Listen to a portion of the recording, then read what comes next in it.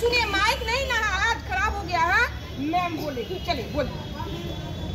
सबसे पहले आज का इम्पोर्टेंस आज का दिन क्यों इम्पोर्टेंट है हमारे लिए, क्यों महत्वपूर्ण है? तो आज है 10 अक्टूबर। आज के दिन हम लोग वर्ल्ड मेंटल हेल्थ डे मनाते हैं। वर्ल्ड मेंटल हेल्थ डे यानी कि विश्व मानसिक स्वास्थ्य दिन, दिवस। है ना? तो मानसिक स्वास्थ्य क्या होता है? हम लोग बहुत कभी कभी आप लोग देखते हैं कि बहुत लोग परेशानी में पड़ जाते हैं किसी बात को लेकर के है ना? तो परेशानी में पड़ के कभी कभी क्या होता है कि उनका हेल्थ बहुत ख़राब हो जाता है। वो ठीक से खाना पीना नहीं खाते किसी सोच में डूब जाते हैं। बच्चे! बहुत सारी चीज़ों को लेकर के वो बीमार पड़ जाते हैं।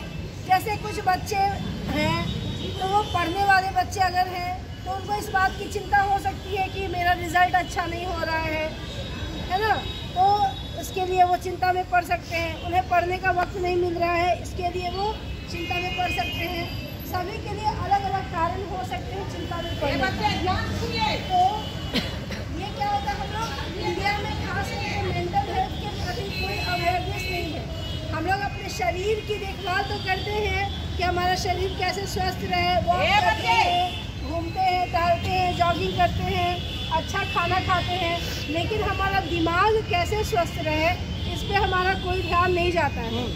बहुत बार होता है कि हम लोग अपने परेशानियों को इसी तरह अपने साथ होते रहते हैं और उसका नतीजा क्या होता है कि उसका असर हमारे शरीर पे पड़ता है। आप सभी को पता है कि हमारा दिमाग ही जो है वो पूरे शरीर को कंट्रोल करता है। है ना? हमारे पूरे शरीर को कौन कंट्रोल करता है? दिमाग। से बोलिए कौन कंट्रोल करता है? दिमाग। तो इसलिए ये बहुत महत्वपूर्ण है हमारे लिए। दिमाग का स्वस्थ रहना भी बहुत ज़्यादा ज़रूरी है। तो दिमाग को स्वस्थ रखने के लिए ही आज का दिन हम लोग एक अवेयरनेस डे के रूप में मनाते हैं। वर्ल्ड मेंटल हेल्थ डे क्या है इनका नाम वर्ल्ड मेंटल हेल्थ डे विश्व मानसिक स्वास्थ्य दिवस विश्व मानसिक स्वास्थ्य दिवस बोलिए। दस अक्टूबर को मनाया जाता है। आज दस अक्टूबर है ना? है। कि नहीं? तो दिमाग को स्वस्थ रखने के लिए क्या क्या किया जाता है? दिमाग अगर स्वस्थ नहीं रहेगा तो हम कुछ काम कर पाएँगे। कुछ नहीं दिमाग पर ही सब कुछ टिका हुआ है। तो उसके बारे में मैडम बता रही है ध्यान से सुन लिए ना? बहुत सारी छोटे छोटे ऐसी एक्टिविटीज़ हैं जिससे हम लोग अपने मानसिक स्वास्थ्य को ठीक संतुलित संतुलित अवस्था में रख सकते हैं संतुलन में रख सकते हैं।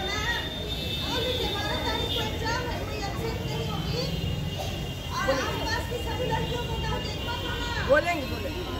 तो छोटी तुम लोग तुम लोगों के लिए बहुत नहीं कुछ करना है लेकिन अपने पढ़ने के रूटीन में से ए बच्चे! थोड़ा खेलने का समय निकालो ज़रूर से खेलो।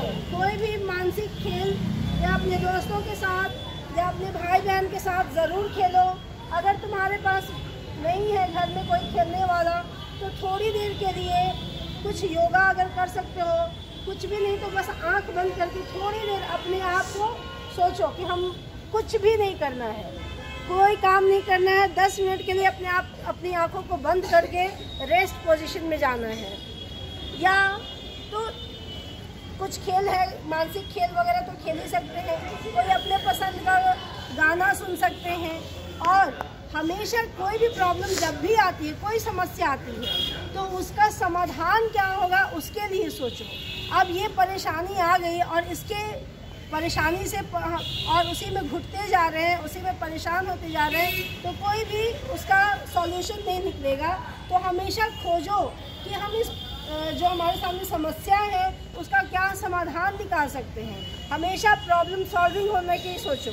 कभी भी एक समस्या को कैरी करने की अपने साथ ढोने की कोशिश मत करो।